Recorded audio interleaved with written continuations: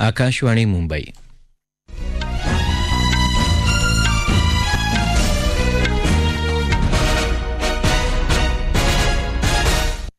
तुषार पवार राष्ट्रीय बातम्या देत आहे. ठळक बातम्या. आत्मनिर्भर आणि स्वावलंबी भारताचं स्वप्न साकार करण्यासाठी आगामी सण उत्सवांमधल्या खरेदीत स्थानिक उत्पादनांना प्राधान्य देत राहण्याचं प्रधानमंत्र्यांचं मन की बातमधून आवाहन.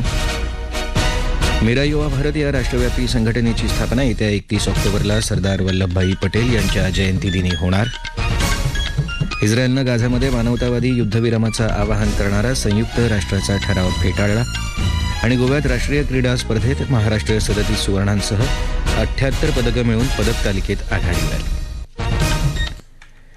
आत्मनिर्भर आणि स्वावलंबी भारताचं स्वप्न साकार करण्यासाठी आगामी सण उत्सवांमधल्या खरेदीत स्थानिक उत्पादनांना प्राधान्य देत राहूया असं आवाहन प्रधानमंत्री नरेंद्र मोदी यांनी केलं आहे. प्रधानमंत्र्यांनी आज आकाशवाणीवरून मन की बात या कार्यक्रमाच्या माध्यमातून देशवासियांशी संवाद साधला. हा या कार्यक्रमाचा एकशे सहावा भाग होता. यंदाची दिवाळी आपण भारतीयांनीच बनवलेल्या उत्पादनांनी साजरी केली तर कारागिरांच्या आयुष्यात नवी पहाट उगवेल असं ते म्हणाले.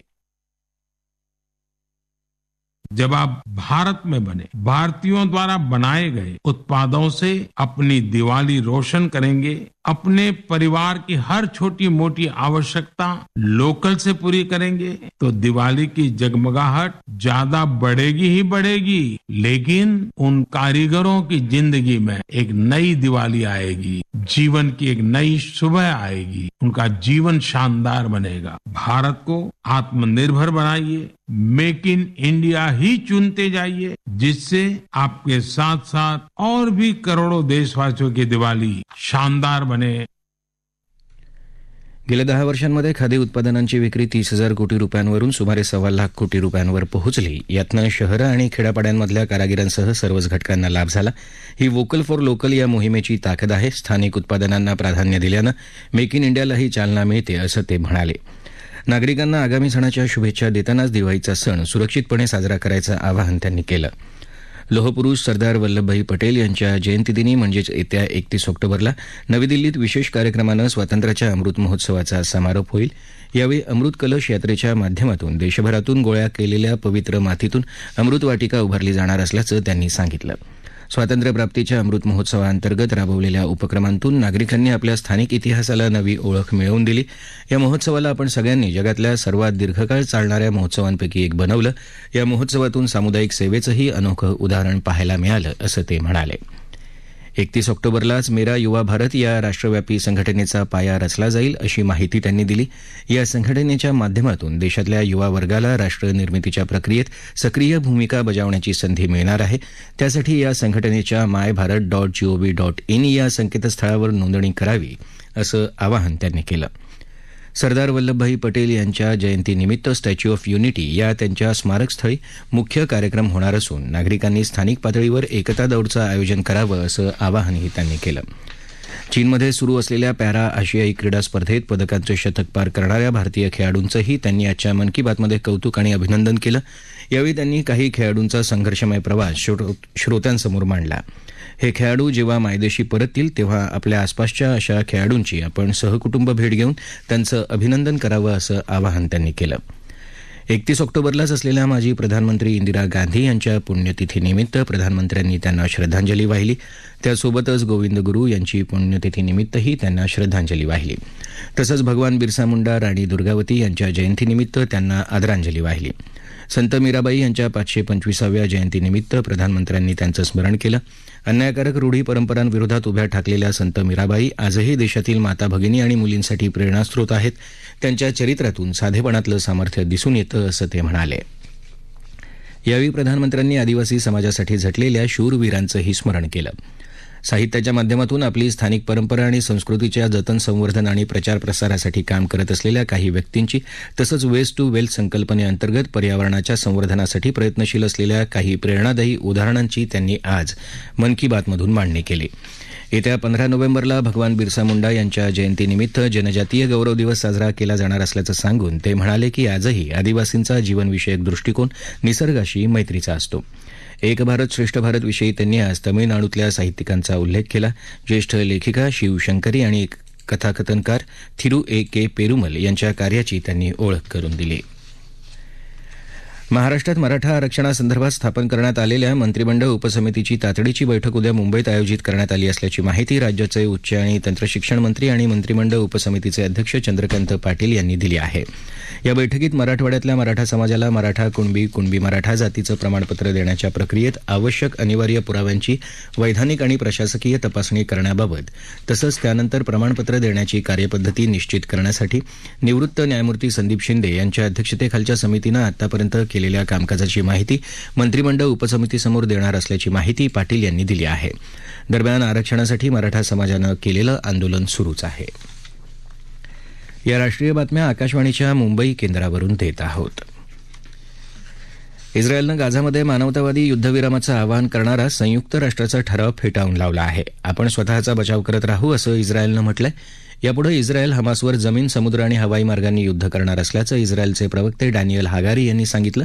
आपलं युद्ध गाझातल्या लोकांबरोबर नसून हा हमास विरुद्धचा लढा आहे असं स्पष्ट करून ते म्हणाले की हमास निरापराध नागरिकांची ढाल पुढे करत आहे. प्रधानमंत्री नरेंद्र मोदी यांनी इजिप्तचे राष्ट्राध्यक्ष अब्देह फताह एल सीसी यांच्याशी पश्चिम आशियातल्या स्थितीबद्दल दूरध्वनीवर चर्चा केली. इस्रायल पॅलेस्टाईन मुद्द्यावर भारताच्या दीर्घकालीन आणि तत्वनिष्ठ भूमिकेचा प्रधानमंत्र्यांनी पुनरुच्चार केला. पॅलेस्टाईनमध्ये भारताची विकास भागीदारी आणि मानवतावादी मदत यावर त्यांनी भर दिला. दोन्ही नेत्यांनी या प्रदेशात शांतता आणि स्थिरता लवकरात लवकर पुनर्स्थापित करण्यावर आणि मानवतावादी मदत सुलभ करण्याच्या आवश्यकतेवर सहमती दर्शवली. केरळात कोची इथं कळमसेरी परिसरात आज सकाळी झालेल्या स्फोटात एका महिलेचा मृत्यू झाला तर वीसपेक्षा अधिक जण जखमी झाले. जेहोवा ख्रिस्ती समाजाची प्रार्थना सभा सुरू असताना हा स्फोट झाला. सुमारे दोन हजार जण या सभेसाठी जमले होते. स्फोटानंतर सभास्थळी पसरलेली आग अग्निशमन दलानं आटोक्यात आणली आहे. वरिष्ठ पोलीस अधिकारी घटनास्थळी पोहोचले असून संपूर्ण परिसर सील करण्यात आलाय. स्फोटाची जबाबदारी अद्याप कोणीही स्वीकारलेली नाही. पुढचा तपास सुरू आहे. संपूर्ण राज्यात अतिदक्षतेचा इशारा देण्यात आला आहे. मध्य प्रदेशात आगामी विधानसभा निवडणुकीसाठी उमेदवारी अर्ज भरण्याचा उद्या शेवटचा दिवस आहे. मध्य प्रदेशात सतरा नोव्हेंबरला मतदान होईल. राज्यात प्रचाराला वेग आला असून आजपासून भाजप कॉल अ थॉन ही अभिनव प्रचार पद्धती सुरू करणार आहे. या मोहिमेत एकवीस देशांमधले अडीचशेहून अधिक अनिवासी भारतीय वीस हजार भारतीय मतदारांना फोन करून भाजपाच्या उमेदवारांना पाठिंबा देण्याचं आवाहन करतील.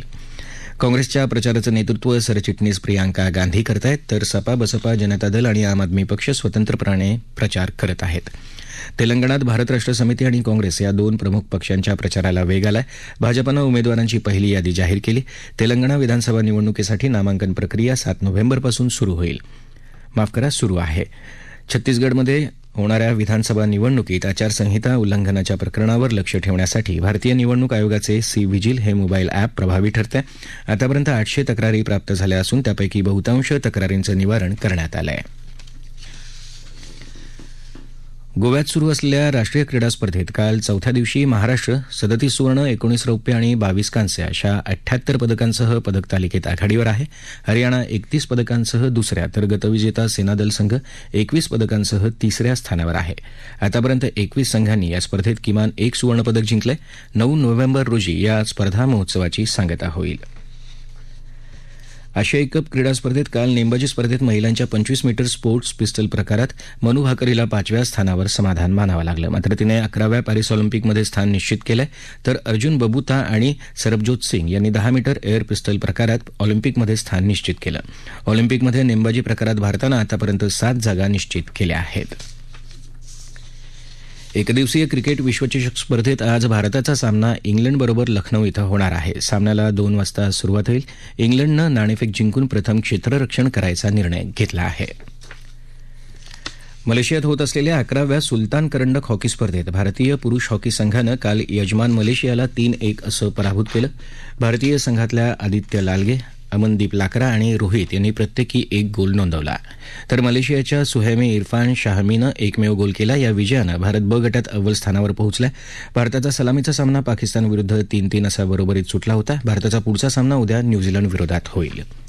ठळक बातम्या पुन्हा एकदा. आत्मनिर्भर आणि स्वावलंबी भारताचं स्वप्न साकार करण्यासाठी आगामी सण उत्सवांमधल्या खरेदीत स्थानिक उत्पादनांना प्राधान्य देत राहण्याचं प्रधानमंत्र्यांचं मन की बातमधून आवाहन मेरा युवा भारत या राष्ट्रव्यापी संघटनेची स्थापना एकतीस ऑक्टोबरला सरदार वल्लभभाई पटेल यांच्या जयंतीदिनी होणार. इस्रायलनं गाझी इस्रायलनं गाझामध्ये मानवतावादी युद्धविरामाचं आवाहन करणारा संयुक्त राष्ट्राचा ठराव फेटाळला आणि गोव्यात राष्ट्रीय क्रीडा स्पर्धेत महाराष्ट्र सदतीस सुवर्ण पदकांसह अठ्ठ्याहत्तर पदकं मिळवून पदक तालिकेत आघाडीवर. याबरोबरच आकाशवाणी मुंबई केंद्रावरचं हे राष्ट्रीय बातमीपत्र संपलं. नमस्कार.